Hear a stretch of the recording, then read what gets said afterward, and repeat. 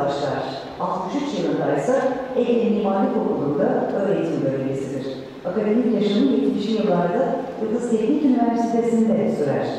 Profesör Kaptan 60'lı yıllarda eğitim hizmetlerinin yanında Türkiye coğrafyasının farklı bölgelerinde, farklı kültürlerde, kırsal ve kentsel alanlarda araştırma, planlama hizmetleri de bulundu.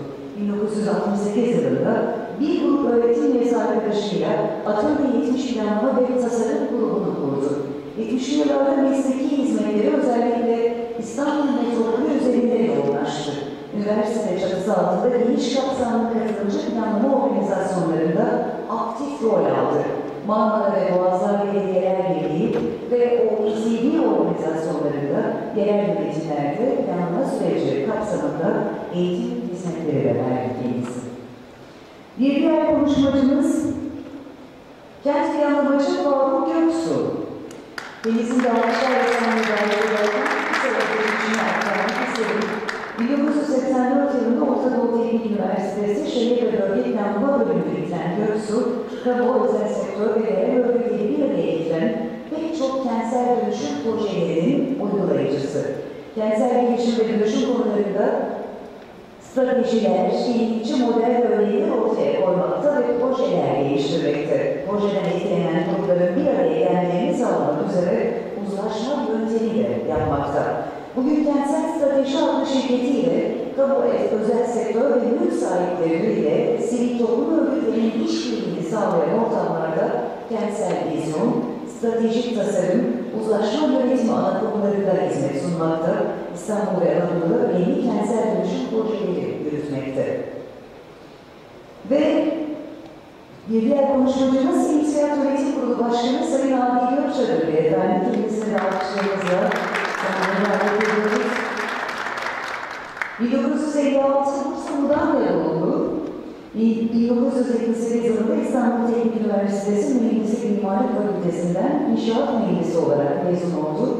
Mesleği 1979 yılında Sönmez İnşaat AŞ ve Sönmez Holding'daki çeşitli tesislerde şantiye şekliyle başladı. 83 yılında Çadır İnşaat Ağabey Timtek şirketi adıyla kendi firmasını kurdu. 1990 yılı bu arada Sivil Toplum Örgütleri olarak sosyal projeler için çalıştı 1990 yılında da Eyyar Tekstil Sanayi ve Ticaret Limited şirketini kurdu. 2002'de Gökçe'de İnşaat ve Tarih Limited şirketini kurdu ve inşaat işlerine yat sat şeklinde devam etti. Bunun yanında 2005 yılında kurduğu Gomoto Otomotiv Limited şirketiyle zaman zaman ithalat ve pazarlama işleri yaptı. Şu anda 2012 senesi Ocak ayında arkadaşlarıyla birlikte kurulan İSA'nın kurucu başkanıdır. Evet değerli katılımcılarımız bu oturumumuzun moderatörü Bursa Altyapı ve Kentsel Dönüşüm Müdürlüğü Vekili Sayın Bayram Vardar Beyefendi. Sayın Vardar'a alkışlarımızla sahneye alıyoruz.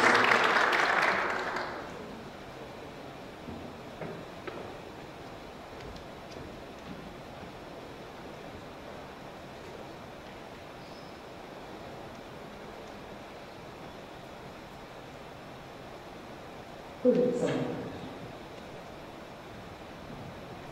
Evet, konuşmama açmadan önce bu programın düzenlenmesinde katkısı olanları e, öncelikle BTS oraya, e, İnşaat Burada Mühendisine ve Adalet ve teşekkürlerimizi sunuyoruz. Siz değerli katılımcılara saygılar. Değerli konuşmacılara bu çalışmanın e, hayırlara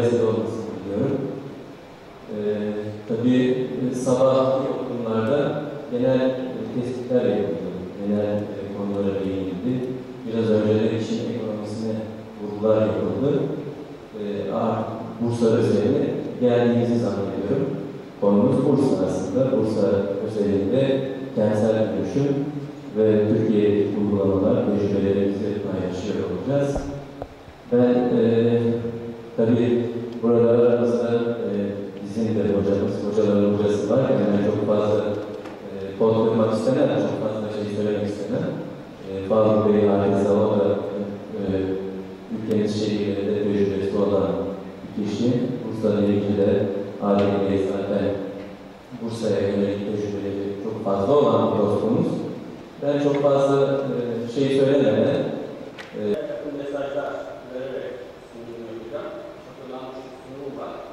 Bana kanser görüşüm denilmişti ama Türkiye'ye kanser bilimleri şey. verildiği için güzel mesajlar hemen hemen her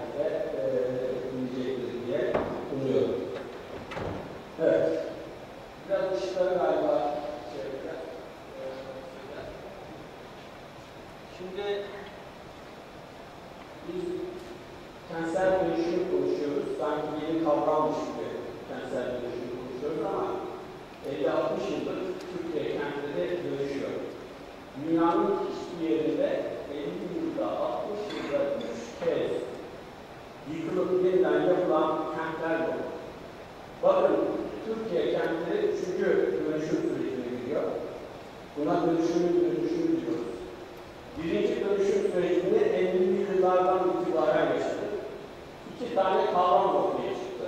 İki yapı tipolojisi. Birine apartmanlaşmış mimarlık isimleri, diğerine de gece konulaşmış alanlar. Türkiye 30-40 yıl bu süreci yaşadı ve bu sürecin sonucunda şu fotoğrafta gördüğünüz yapıları, çevreleriyle. Sonra ne oldu? Hatırlayın, Özal'lı yıllar, 80'li yılların başları, ya biz bu gece konuları çok kötü yaptık. Bu gece konu alanlarında yapı ve yaşam kalitesi riski var. Bu alanları dönüştürelim diye bir yasa çıkardık. Adı da 2985 sayılı yasaydı. Yasanın gücüyle 10-15 yılda, hocam çok iyi bilir, bütün Türkiye kentlerindeki yaklaşık %50-60 dediğimiz kesim hızla apartmanlaşmaya dönüştü.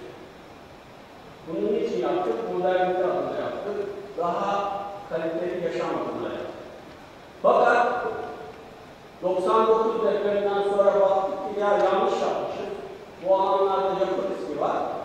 Şimdi de yeni yasalar çıkartıyoruz, diyoruz ki geçmişte yaptıklarımızın hepsi kötü, yeniden biz bu riskli binaları yıkalım, yeni çevreler yapalım. Şimdi tabii tehlikeli bir sürece girdik. Yani bu yapmış olduğumuz çevreleri yabancılar yaratmadı, biz yarattık. Yatırımcılarıyla, finansçılarıyla, yaşayanlarıyla, mülk sahipleriyle, hak sahipleriyle. Şimdi 40-50 yılda üç kez yıkılıp yeniden yapılan süreci nasıl yöneteceğiz? Konu. Keşke sorusunu her süreçten sonra sorduğumuz keşke sorusunu bundan sonraki süreçte de soracak mıyız? İki fotoğrafa baktığınızda özel sektör ve kamu tarafından gerçekleştirilen projeleri gördüğünüzde sanki soracağız gibi geliyor. Bakın şehir plancısıyım. Aramızda meslektaşlarımız var. Bizim planlama yaklaşımımız dosyalarla kaçak yapılar arasında gidip geldi. Şu fotoğrafta, şu şema, ne dersiniz bilmiyorum. Bizim kentleşme tarihimizi o kadar güzel anlatıyor ki. Belediyeler bakanlık dosyalarının arasında imar kurumlarıyla kayboldu. Dışarıda da kaçak yapılarıyla yeni kentsel çevreler taş üzerine taş koyarak yapmaya çalışıyor. Peki bunları eleştiriyoruz. Ne yapacağız? Yeni kentsel düzen için, ne yapmamız gerekiyor? Buna ilişkin birkaç şey söyleyeyim. İki tane önemli kavram var bundan sonraki dönüşüm sürecinde. Biri vizyon, biri tasarım.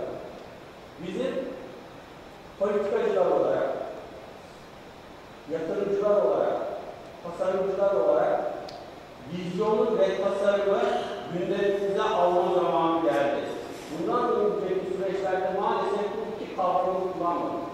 Kentleri yeni vizyon çerçevesinde yeniden kurgulayacağız. Kentsel çevreleri yeni tasarımlarla yeniden şekillendirmek zorundayız. Bunu yapmazsak dünkü çevreleri arayan, arayan, durum haline, arayan kişiler haline gelebiliriz diye düşünüyorum. Şimdi kentlerin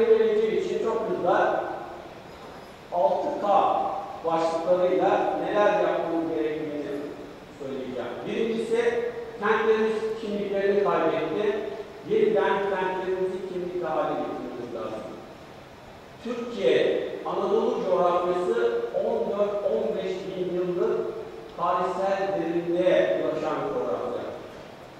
Türkiye'de marka kentler olmaz, Türkiye'de markalaşma olmaz, Türkiye kentleri yeniden kimliğini ortaya koymak zorundadır. Birinci olmazsa olmaz şeyimiz, ilkemiz kimliğimizi yeniden, yani kentlerin kimliğini yeniden kurmak. İkincisi, kentlerimizin kapasitesi doldu. planlayacaksak yaşam dengesini yeniden kurmamız lazım. İstanbul 16 milyon, Bursa 3 milyon.